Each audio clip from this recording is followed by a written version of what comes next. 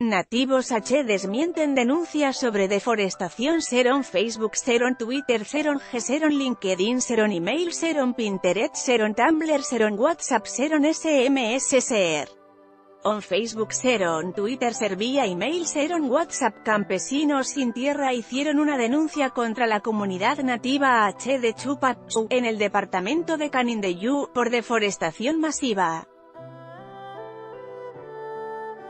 Los trabajos que realizó la comunidad H fueron de limpieza del matorral o yuyal en el monte, o cocuere, como ellos lo llaman.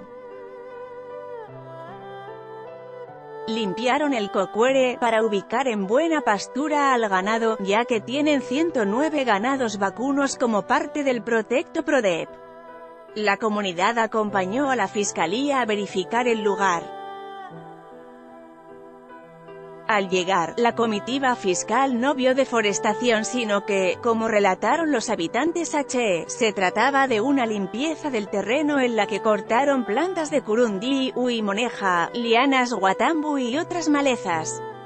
Sin embargo, lo que la fiscalía sí encontró, fueron dos hornos construidos por los campesinos para la quema de árboles y la producción de carbón. Líderes H se comprometieron a destruir estos dos hornos. El recorrido lo acompañó también el Instituto Forestal Nacional, INFONA, y la Dirección de Derechos Étnicos del Ministerio Público. La comunidad H de Chupa, lucha contra las constantes invasiones de los campesinos sin tierra, que se ubican en territorio H.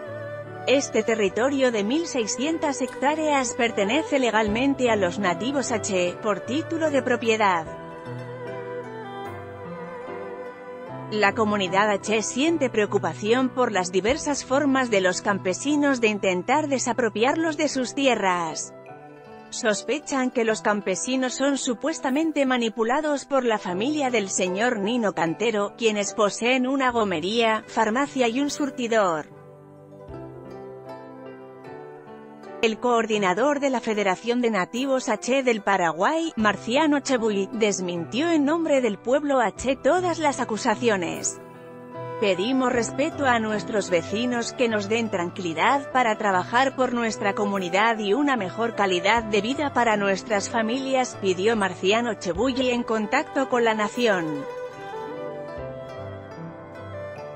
Proyectan realizar evento para emprendedores repatriados El verdadero y último mago del fútbol paraguayo cumple 48 años MOPC seguirá apostando por la inclusión de mujeres Javier Díaz Verón va a Tacumbú Funerales Nacionales para Kofi Annan en Ghana el 13 de septiembre contenido externo patrocinado